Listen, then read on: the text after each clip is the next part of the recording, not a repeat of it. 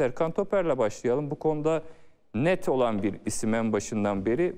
Onun düşünceleri ne? Ne olmalı? Mevcut teknik çalışmaya ilişkin neler söylersin? Fevzi Çakır benim net olduğum konu insanın merhametine, vicdani duruşuna yaraşmayacak şekilde bu problemi hayvanları katlederek çözemeyiz noktasında net duruşum var. Diyorum ki hayvanları katlederek bu problemi çözemeyiz diye bir konuşma yapıyorum. Sorunun varlığını kabul ediyorum. İnsan yaralanmaları, çocuk ölümleri, her şeyden ziyade yine kümeleşmiş köpeklerin insanların günlük hayatını olumsuz etkilediği gerçeğini de görüyorum. Ama son cümle diyorum ki illaki bir çözüm vardır. Katlederek bu meseleyi çözemeyiz. Net olduğum konu bu. Katlederek bu meseleyi çözemeyiz dediğimde altın onlarca insan al sen bak. Şöyle yap, böyle yap. Senin sokaktan haberin yok. insanların yaşam koşullarından haberin yok. Ben sokaklarda kalsınlar 30-40 tane köpek insanların hayat kalitesini, günlük yaşamını etkilemeye devam etsin. Böyle bir problem yok diye manşet atmamışken tekrar nereye geri geldik? Türkiye'deki her problemi marjinallerin manşetleri ve başlıkları üzerinden tartışmak zorunda kalıyoruz. Bir tarafta olur mu canım bütün köpekler sokakta yaşasın. Aldığın yere koy dayatmasıyla. Diğer tarafta bunları öldürelim.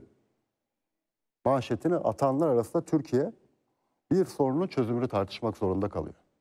Oysa ki Ne olmalı size göre? oysa ki bunun makul bir çözümü vardı. Evet, kümeleşmişse evet insanların günlük hayatını olumsuz etkiler düzeye vardıysa belediyeler her şeye para bulan belediyelerimiz. Borçlanmada limit tanımayan belediyelerimiz. Başkan olmak için birbirini çiğneyen belediye başkan adaylarımız ne hikmetse o köpekleri aşılamaya para bulamadılar bir türlü. Veyahut da dediler ki mama lobisi vardır. Barınaklar yapıp buyurun hadi bakalım hayvanseverler gelin. Buranın da maliyetlerini ve masraflarını siz karşılayın demeyi akıl edemediler. Belediyecilikte her şeyi akıl eder bu arkadaşlar. Edenler var Serkan Topar. Ben Evet, birkaç edenler- belediye başkanından Edenler, dinledim. edenlerin Çok sayısı az, çok olsaydı Fevzi Çakır, sen Ee, 40 gündür bu yayınları yapmıyor olurdun. Örneğin Ya da bana 6 Ankara Büyükşehir Belediye Başkanı. Sayın Mansur Yavaş anlatmıştı. Biz yeni bir barınak yaptık. Bu barınağa gelin birlikte çalışalım diye e, hayvan hakları savunucusu dernekleri çağırdık. Hiçbirisi bize dönüş yapmadı demişti. Evet. Dolayısıyla böyle bir Ama durum şimdi da var. onlara Yani dönüş yapıp yapmamayla alakalı bir durum değil. toplanması meselesi yani daha toplanması meselesinde düğümleniyor. Sen anladığım kadarıyla sorunu kabul ediyorsun. Bakın bir maddeyle Sokaklarda başıboş bulunan köpeklerden kaynaklı problemleri kabul ediyorsun ama netice itibariyle uyutma gibi bir yönteme başvurulmaması gerektiğini dile toparlayayım aslında. Evet. Doğru. Şimdi sen başkan çözecek ama aldığın yere koymak zorundasın. Bu yasayı da daha yeni yaptık. 2-3 yıl oldu.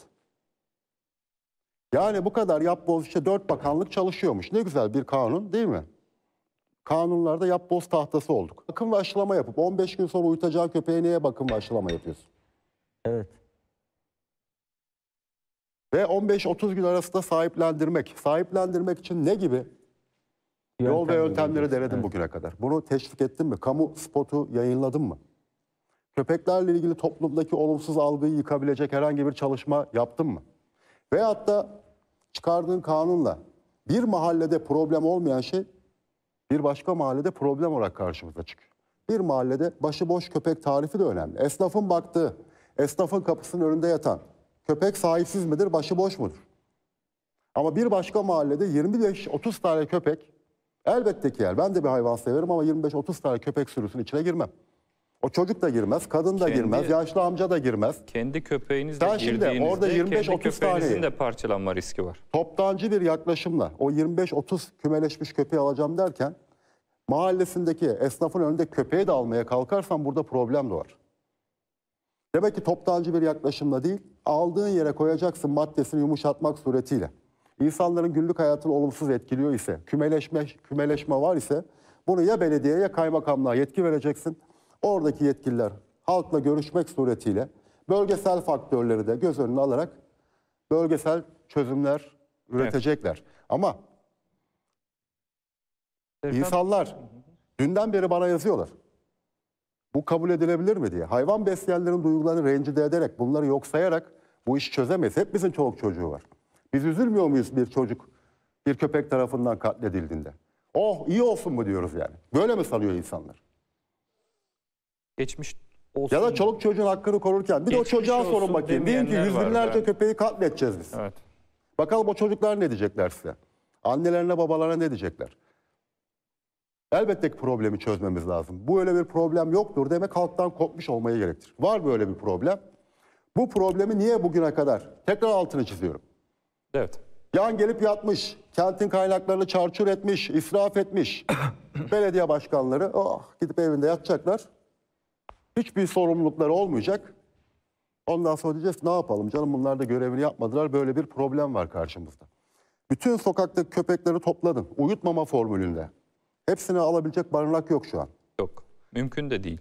Barınaklara doğal yaşam alanı kurun dedik bol bol. Doğal yaşam alanlarının da denetimini ve mali bütün giderlerini de hayvanseverlere yükleyin.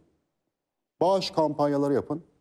Ondan sonra deyin kardeşim al bağış yap istedik. Hiçbir hayvansever bağış yapmadı. Biz de burayı belediyenin kaynaklarını daha fazla buraya aktaramayız. Daha önemli aktaracağımız yerler var.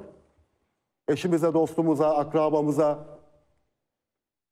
siyasi geleceğimize oralara harcamamız lazım. Bunlara sıra gelmiyor dediler diyelim. Doğal yaşam alanı kısırlaştırmayla bu işi çözersiniz ve bölgesel çözümlerle.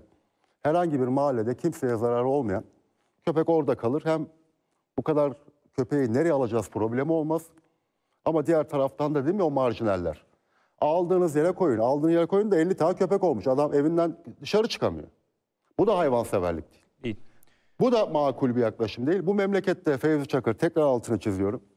Makul insanların sesi nedense çıkmıyor.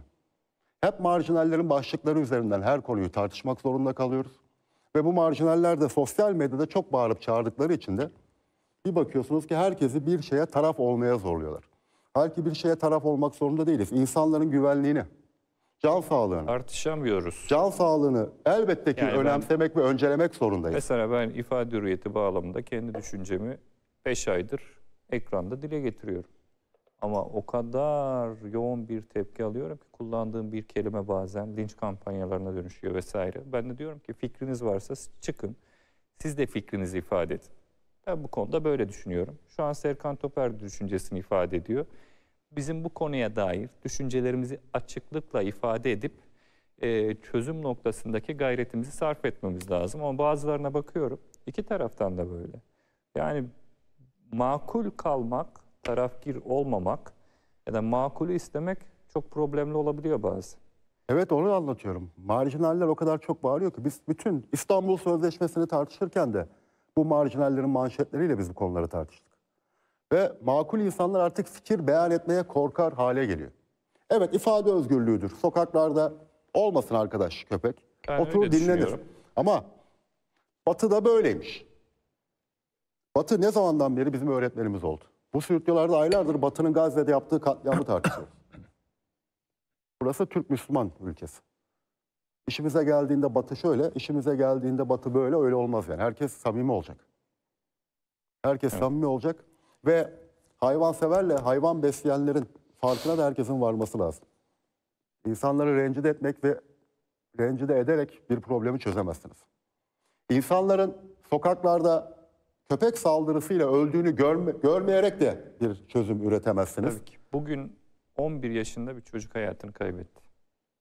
Çıkıp eşrefi mahlukattır. Yaratılmışların en bir insan. Arkadaşlar